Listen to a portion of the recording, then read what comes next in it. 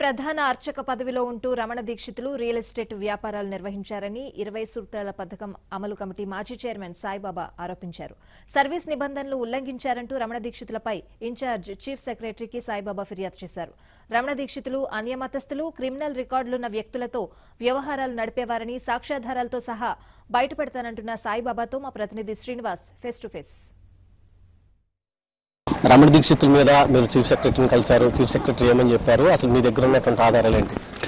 అంటే ఇక్కడ గత మూడు నాలుగు నెలల నుంచి కావాలని తిరుమల తిరుపతి దేవస్థానం మీద అదేవిధంగా హిందూ మనోభావాల మీద కావాలని దుష్ప్రచారం జరగటం ఒక వెస్టెడ్ ఇంట్రెస్ట్తో వీళ్ళందరి మీద దాడి చేయటం ఇది నాకు చాలా బాధం కలిగించిందండి.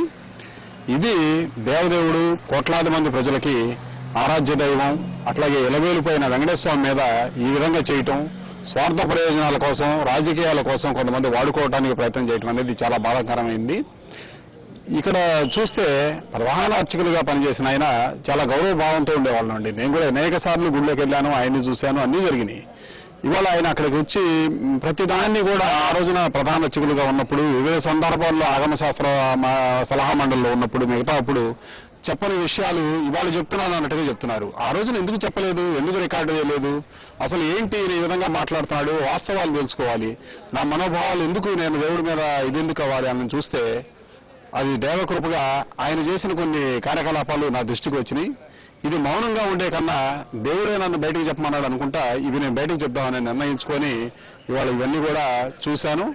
ఇవాళ ప్రభుత్వంలో ఉన్న అనేక మంది అధికారులు గతంలో అక్కడ ఈఓలుగా పనిచేశారు జేఈఓలుగా పనిచేశారు విజిలెన్స్ ఆఫీసర్లుగా పనిచేశారు. వాళ్ళందరూ ఐఏఎస్లు ఐపీఎస్లు వాళ్ళందరూ ఇవాళ ఇక్కడ ప్రభుత్వంలో అనేక పదవుల్లో ఉన్నారు.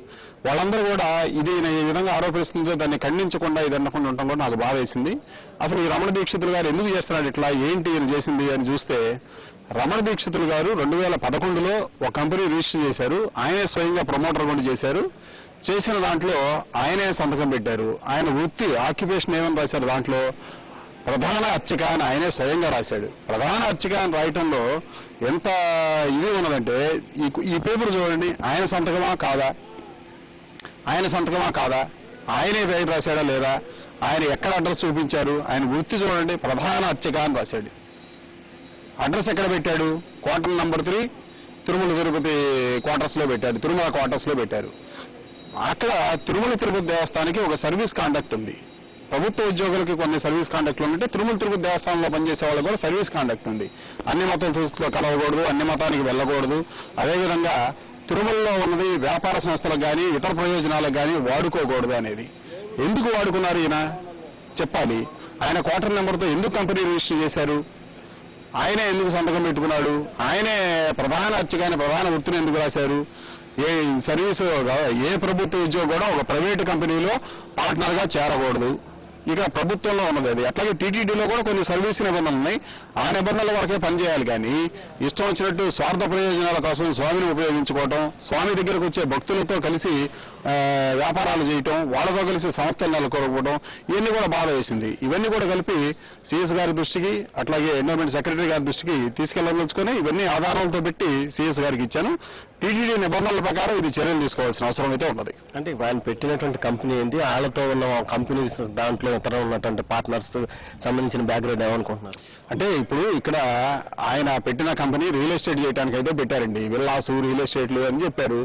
సరే అది చేశారా? ఈ పేరు చెప్పి ఇంకొక బినామీ వ్యాపారాలు ఇంకా చాలా చేశారనేది రమణ దీక్షితులు గారు చెప్పారు. గత పది ఒక నెల క్రితం ఆయన మాట్లాడతా నేను ఎటువంటి వ్యాపారాలు చేయలేదు ఏం చేయలేదు ఎవరైనా వ్యాపార సంస్థలు ఉన్నట్లయితే ఏమైనా ఉంటే రుజువు చేస్తే నేను ఇది చేసుకుంటాను అని అన్నారు. ఇప్పుడు రమణ దీక్షితులు గారికి నేను డైరెక్ట్గా చెప్తున్నాను ఇది ఎక్కడుంది? మీరు చెప్పండి మీ సంతకమా కాదా చెప్పండి మీరు వ్యాపార సంస్థ పెట్టారా లేదా పెట్టలేదా చెప్పండి మీ వృత్తి ప్రధాన అర్చక రాశారా లేదా మీరు టీటీడీ క్వార్టర్స్లో ఉంటూ ఆ క్వార్టర్ అడ్రస్ ఇచ్చారా లేదా ఇవి చెప్పండి. ఎవరితో భాగస్వామ్యం చెప్పారనేది రమణ దీక్షితులు గారు చెప్పాలి. లేకపోతే నా అనుభవం నేను చేసుకుంటాను. ఆయన భాగస్వాములుగా తెలిసిన వాళ్ళు ఎవరెవరో నేను చెప్తాను. ఇటీవల కాలంలో ఆయన కొన్ని ప్రెస్ మీట్లలో చూశాను నేను. ఆయనతో కలిసి కూర్చున్న వాళ్ళు నేర చరిత్ర ఉన్నవాళ్ళు క్రిమినల్ నేర చరిత్ర ఉన్నవాళ్ళు. ఆ నేర చరిత్రలో నేను చూస్తే వాళ్ళ మీద ఆరేడు కేసులు కనపడ్డాయి. ఇది జగద్వీతితో అన్ని మతాల ప్రచారం చేసే వాళ్ళతో కలిసి దేవదేవుడి యొక్క శ్రీ వెంకటేశ్వర స్వామి మీద ఆరోపణలు చేయడానికి వెంకటేశ్వర స్వామి ధర్మకర్తల మీద ఆరోపణలు చేయడానికి అట్లాగే అధికారుల మీద ఆరోపణలు చేయడానికి అన్ని మతస్థులతో కూర్చొని మీరు చేయాల్సిన అవసరం ఏమొచ్చింది? మీరు ఆగమ శాస్త్ర పండితులుగా ఉన్నప్పుడు అట్లాగే ప్రధాన అర్చకులుగా ఉన్నప్పుడు మీకు అక్కడ కొన్ని వేదికలు ఉన్నాయి. అక్కడ ఎందుకు చెప్పలేదు మీరు? ఇవాళ ఎందుకు మీడియా ముందుకు ఎందుకు వస్తున్నారు? ప్రచారం కోసం వస్తున్నారా? ఏం వస్తున్నారు? ఇవాళ నాకు వచ్చింది. నేను దృష్టికి వచ్చినప్పుడు ఇది ముందుగా వెళ్ళి అడ్మినిస్ట్రేటివ్ హెడ్గా ఉన్న సిఎస్ గారికి రిప్రజెంటేషన్ ఇచ్చాను. అంతేగాని నేను ముందే మీడియా ముందుకు రాలేదు. వీడియో జర్నలిస్ట్ శ్రీనివాస్ ఏబెల్ ఆంధ్రీ